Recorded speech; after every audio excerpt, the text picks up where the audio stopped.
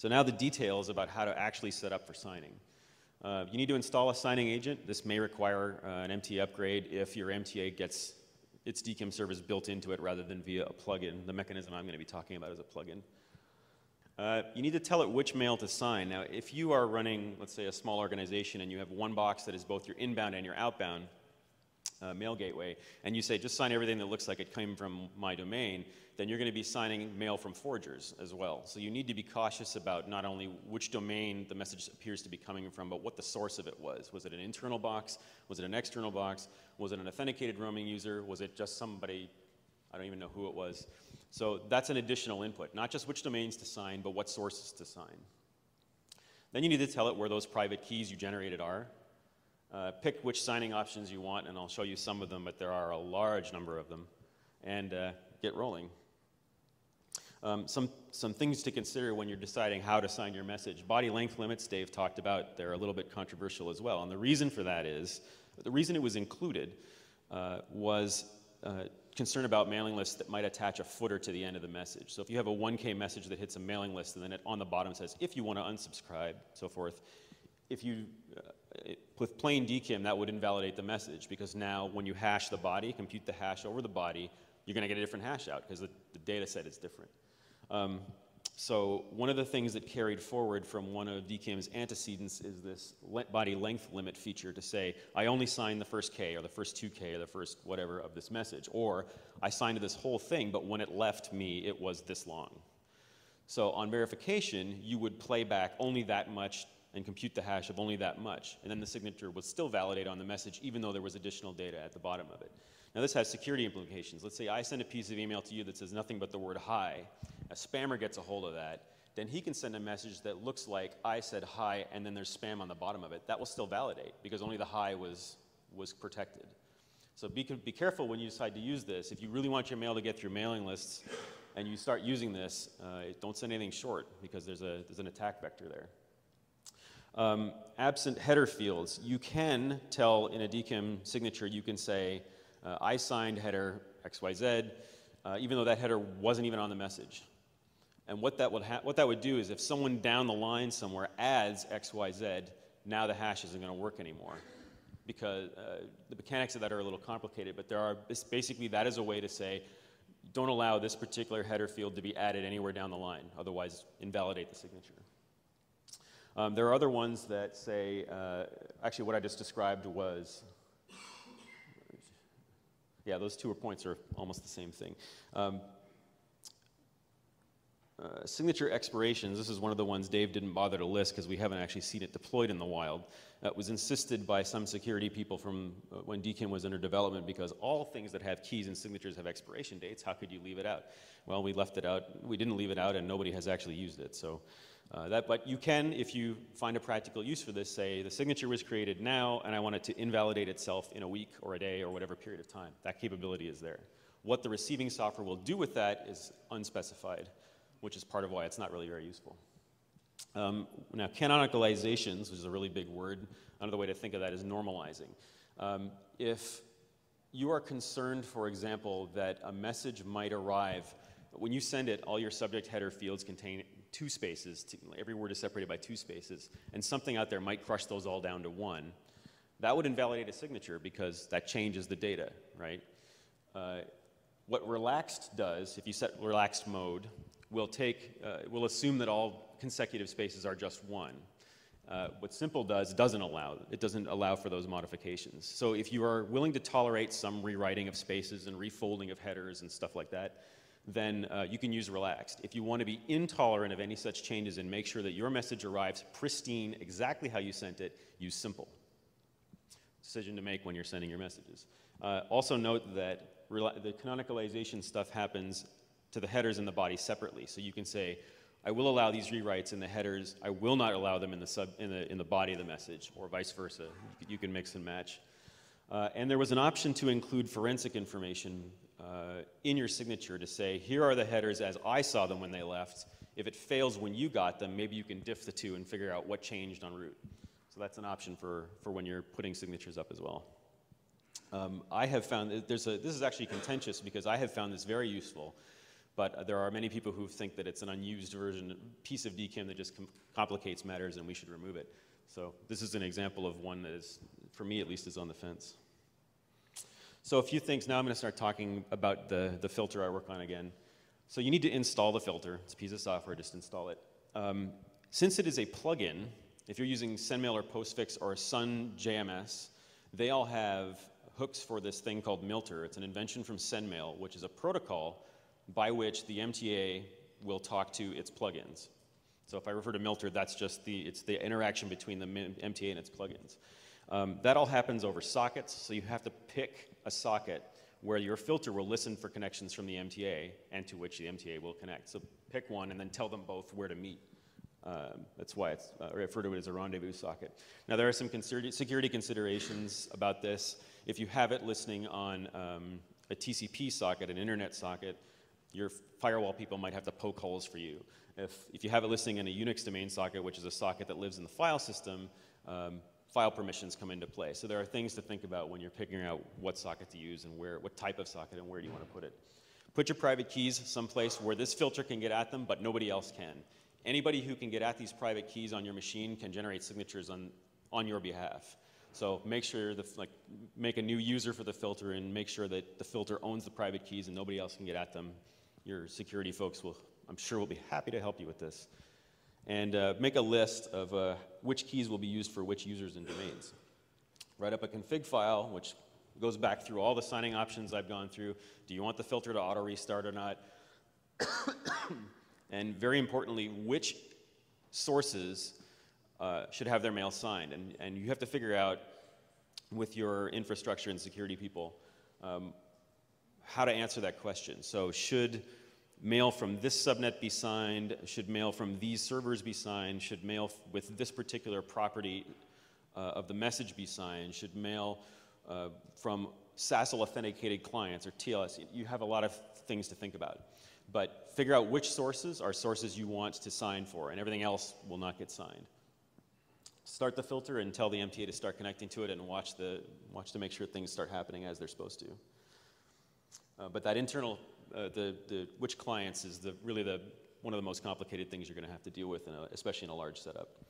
So an example configuration file uh, looks a lot like this. The bold lines are the ones that are really critical. The other ones you can sort of, if you're interested, look them up. But um, here I have a, a, site called example.com that signs all of its mail with one key. It has a file called internal that um, contains a list of here are all the IP sources that I'm willing to, to sign for. So you know, CIDR expressions or IP addresses or subdomains, what have you. The selector that we're going to use is sign 2010-02, and the socket we're listening on is, is, an internet socket, a TCP socket, port 8891 at localhost. So the, those five lines are the only critical ones. Um, now, what this will do is it will sign mail for, um, it will sign all mail for, from sources uh, listed in the internal file if the from says example.com. So both of those things have to be true for the message to be signed. Then it will affix a signature using that private key, using this selector. That's basically what it's telling you. So that's a very simple setup, signing with single domain, one key. Now here's an example if you have lots of domains and lots of keys and, and uh, some a management example of that. So we have, we're example.com again. We've gone back and we've made the domain partition. So I have four subdomains of interest ops, marketing, exec, and just the top level. If you look in the second file here, I have a, and I have five keys that I'm using. The ops key, marketing key, the exec key, the president key, who's a specific person inside exec, and uh, the default key. So we've generated five keys, we have specific purposes for each of them, and we've listed how we want to use them.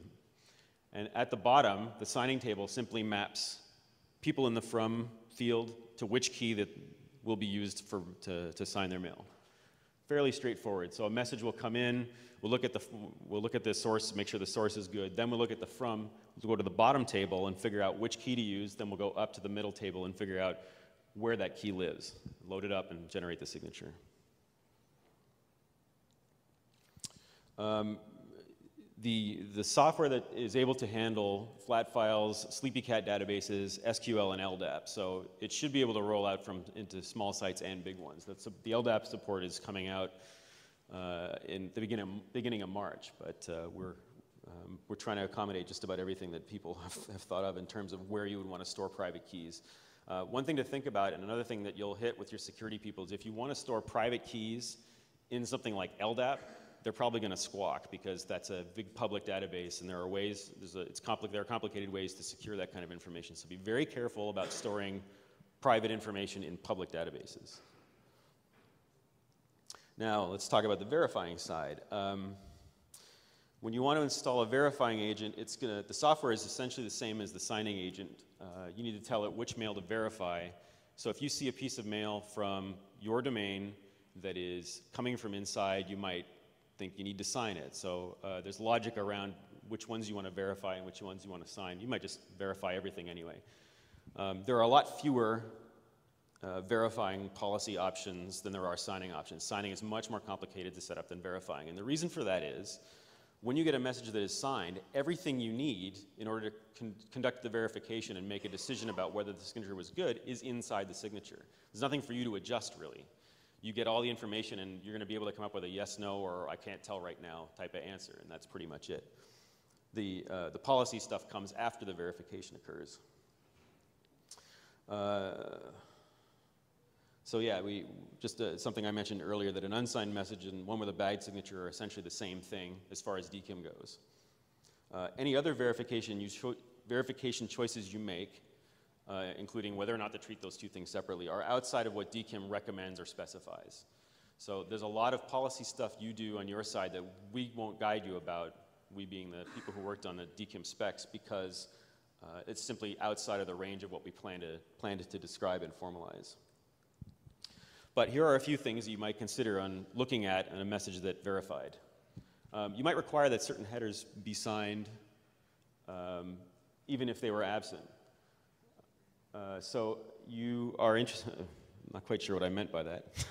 um, you might require that subject be signed. So you get a message that, oh, I, absent, I meant not signed. Um, you get a message that uh, did not have the subject header included in the list of things that were signed. You might be suspicious of that because now you don't know if the subject header changed between the time it was signed and the time you got it. So uh, in your in Outlooks or, or Thunderbird or whatever, in this summary, the subject that's there will be shown to your user and could be misleading now. You don't know. It wasn't, it didn't, it wasn't protected.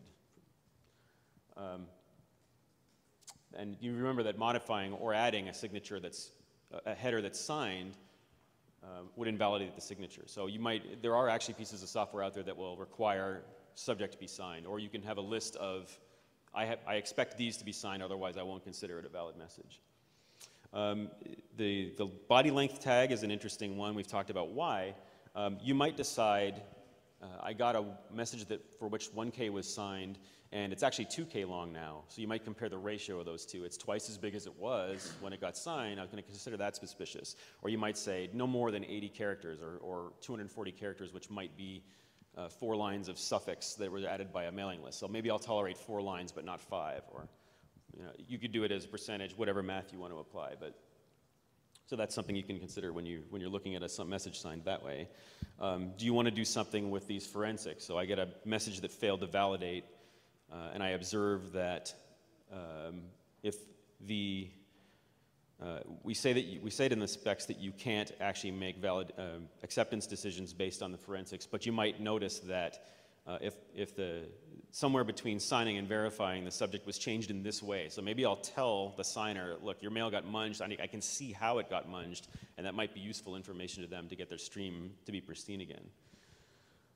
And uh, authentication results gets into a, a, slightly different area when, but I'll, I'll, talk about it for just a moment. When a message is validated by DKIM, there's a standardized header to add to say this was what I validated, and this is where it got validated. So if you picture the path it took, um, that header gets added at that point to say uh, this DKIM signature validated when it got here, and here's the useful information from that that I managed to find. Like this was the D equals, or this was the I equals, this is the domain that signed it and it passed when I saw it.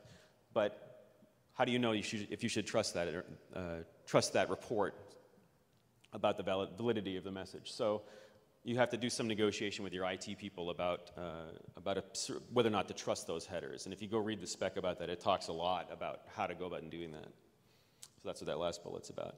Um, do you want to apply ADSP? Like I said, there, there are um, risks to applying ADSP. So you might say, you might decide you're not, despite the fact that mail from mybank.com says discardable, and this failed to validate, I'm not going to throw it away just yet because they might be having trouble. So um, whether or not you actually apply ADSP is completely up to the receivers to, uh, to make that decision.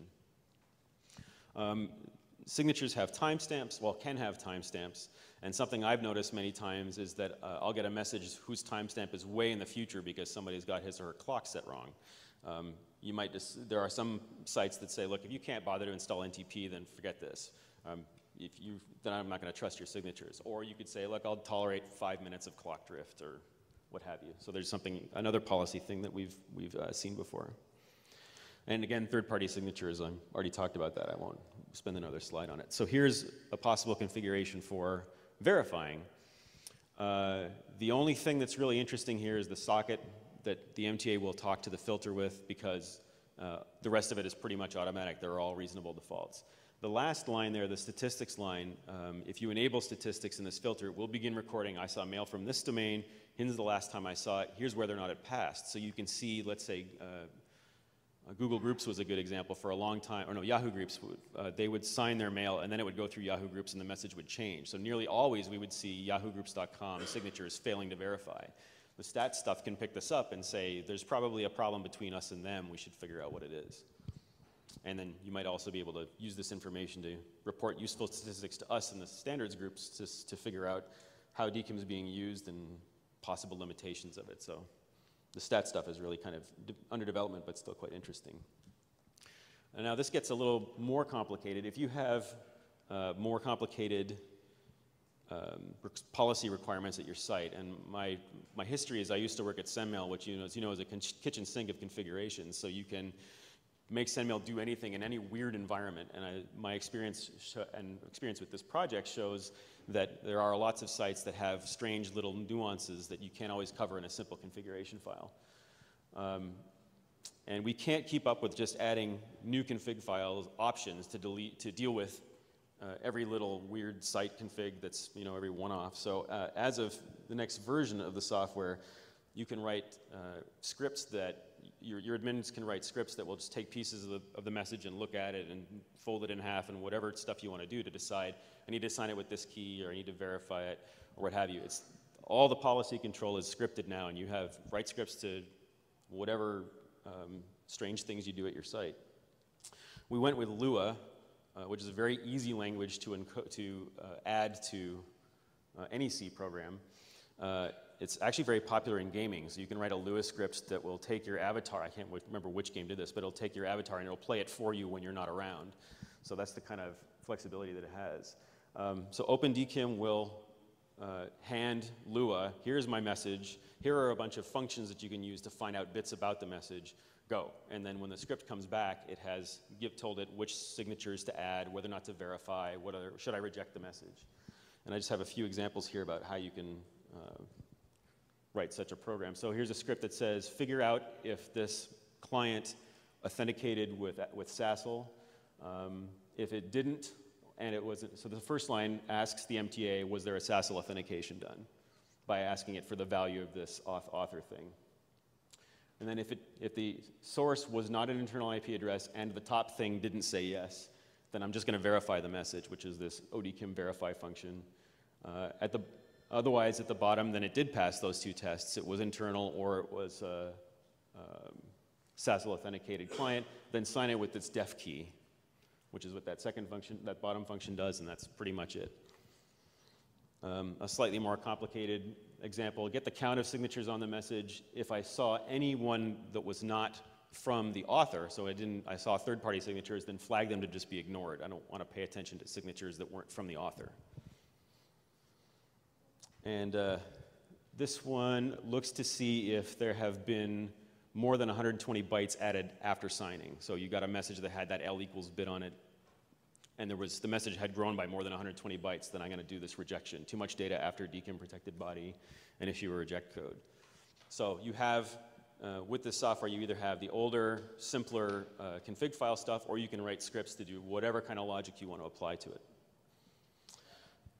So uh, testing your setup, once you have uh, all your signing and verifying done the way you want to get it done, uh, or you think you want to get it done, there, if you go to dkim.org, which is a website I believe Dave maintains, there is a list of uh, autoresponders.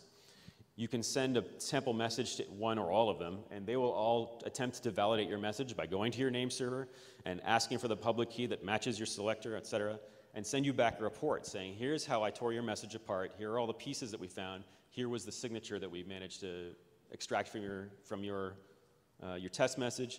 Here is, uh, is, a few of them even go right down to here's every byte that I saw in the order in which I saw them, um, and then whether or not we were able to validate your message.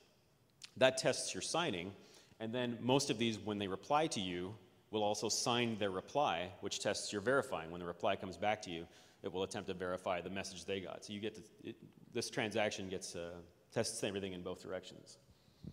Course, if you run two separate sites, you can just send mail back and forth between the two of them and see if they validate both ways. So a few topics. Uh, we're probably going to be done a little earlier. I have time for Q&A, which is good. Um, RFC 5451 defines authentication results that I mentioned earlier. Um, there are security things that your, your internal people will need to pay attention to, like the indication of where this was added. Was it added by an MTA that we trust, or was it added by an attacker that is trying to convince me that this message was actually okay? So um, you should probably read the spec, especially if you're using software that applies this technology, because you need to be aware of which headers are, are safe and which ones aren't. And then we talked about uh, the, the word reputation gets bandied around a lot. So DKIM, like Dave said, associates a domain, a verifiable domain, with, uh, with a message. What does that really mean? So uh, if I send you a piece of mail from, uh, with an offer from Marriott where the O is now a zero, you're going to know that that's no good. But how is a machine doing filtering over a billion messages a day going to know that that's no good? We need to start associating value with names, and that's really what reputation, domain reputation is. Uh, in the DKIM world, we use the D equals part. Uh, there's likely more value, and I think Dave touched on this too, there's likely more value in trying to identify and weed out the good guys and let them in faster than it is to identify the bad guys and let them out, because shedding a bad reputation is trivial. As soon as I've accumulated a bad reputation, then I just switch domains, or I switch users, or I switch, in, in the current world, I change IP addresses. It's very easy to dump a bad reputation. It's, it's going to be hard to get a good one and a challenge to keep it. So this will encourage people to make sure your borders are tight so that people can't hijack your reputation and start signing with DKIM so that once, we once these sorts of systems have been rolled out, uh, you will be able to uh, earn a good reputation and keep it with all the people that are watching. There are uh, both commercial and open source reputation mechanisms out there. A lot of them are kind of here's the published list of domains that we know are good, that we've vetted, that have paid us to get on our good list. Um, there are some open source ones that attempt to publish um, a way for you to query uh, for their version of a reputation, and you should research. And the one thing that's important when you're picking reputation vendors is research how they get those names figure out whether it's a, is it a collaborative system that everybody's kind of voted on it across the whole internet, or is it a bunch of names that have paid to get on the list, or, or you know, figure out what it is you're, what sort of data you're associating with names and applying to your filters. Um, something that is, uh, it's sort of on the back burner right now. It came up for a little while and it, then it's gone quiet though, is, is reporting. Uh, a lot of sites would like to be advised of unusual activity. So if all of a sudden someone's phishing as you, you're a bank, you're eBay, whoever, uh, someone's sending mail claiming to be you, you'd like to know about that. Um, so there, there are a few ways that this has been approached. One of them is to try to extend ARF, which was talked about in the previous session. I think Dave mentioned it a couple times. The abuse report format, which is a way of indicating uh, uh, that there was a complaint from a user back to the service provider. Um, so there's a draft proposal to extend DKIM ADSP and ARF to publish information to, to be able to use this as a mechanism to report, we've detected you're being phished. You publish a DKIM equals all, but we're getting mail from that claims to be from you that's not signed, and here's all the forensic information we managed to get about it. Um, this is really quite nascent stuff, uh, but it's, uh, it's on the, there's a working group that has it as later on in their charter, so it will, won't be too long before we start to hear more about this.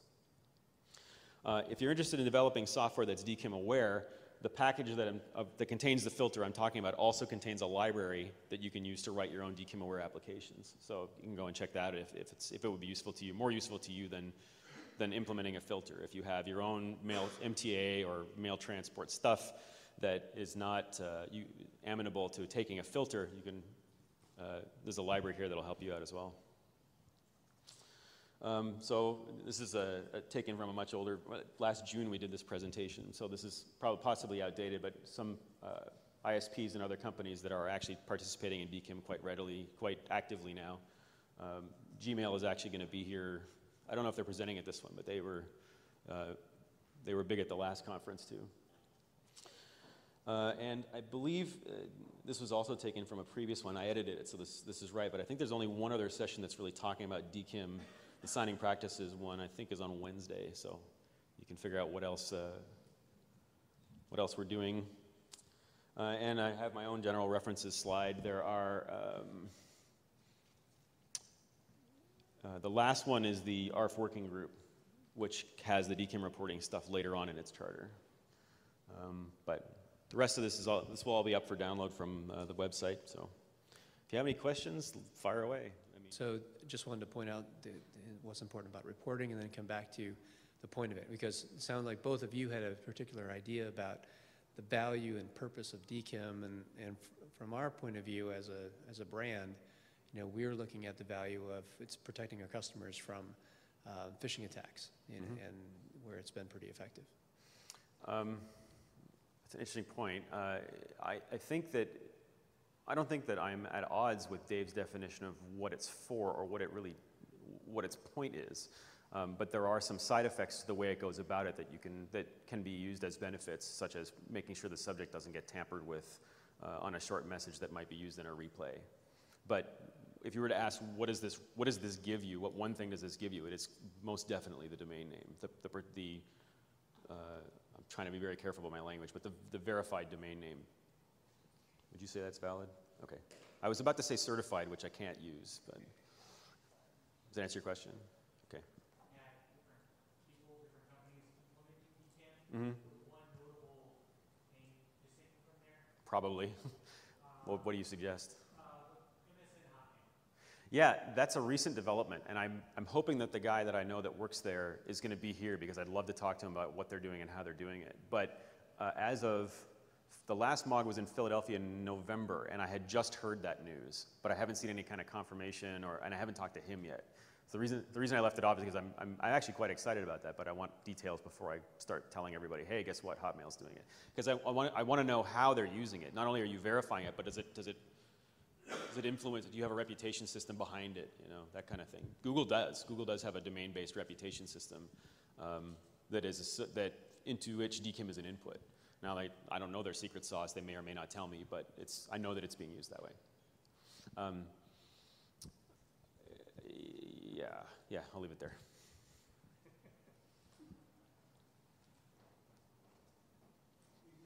Mm-hmm.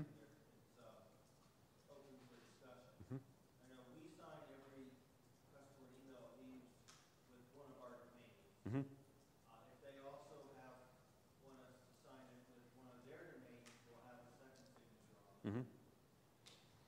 Are there concerns about that? Um, I'm sorry? Repeat the question. The question is um, this gentleman signs uh, all of their mail with uh, their own domain, and if the customer requests, with uh, a signature from the customer domain as well. Is that right? So, are there concerns about that with respect to uh, third, my concerns about or my comments about third-party signatures? Um, I would say no, because in the second case, where you have your uh, customer domain associated with it, that's what they'll focus on. I know, for example, that AOL uses the library that I was talking about, and they currently focus only on a first party signature, an author signature. So they would pay attention to that one. They would completely ignore a third party signature. So they would treat that mail, which only had the one, as unsigned. Um, that's their own local policy. They, they don't really know how to evaluate a third party signature or what it means or what it's telling them. So all, in fact, all of my remarks are kind of based around that general idea, is, is that there isn't any good guidance on how to handle third-party signatures yet. we've had to go with third-party signature on every email so that we get the Yahoo feedback input.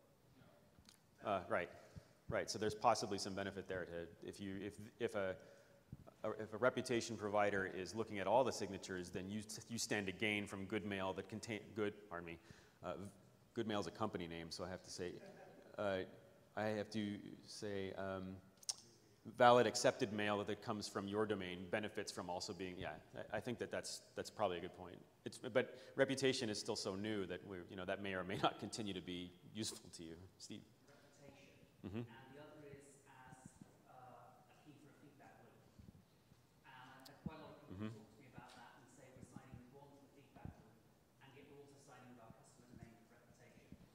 And they've tried that, and sometimes it's broken their uh, smart when it's gone out, Uh-huh. it's been just fine. So Steve's pointing out for the camera, Steve's pointing out that um, uh, one use of multiple signatures has been one for the sender's domain, sending domain, and one for the domain that is uh, generating a feedback report. So that domain would also sign it, and it's, it's a useful token for processing, automatic processing of ARF reports later on. So there's one possible application. Not, you're kind of dealing with two different mail streams there, though. One is, one is the uh, actual flow of mail, one is, one is sort of metadata about the flow of mail, but that's a useful application for, for DKIM there.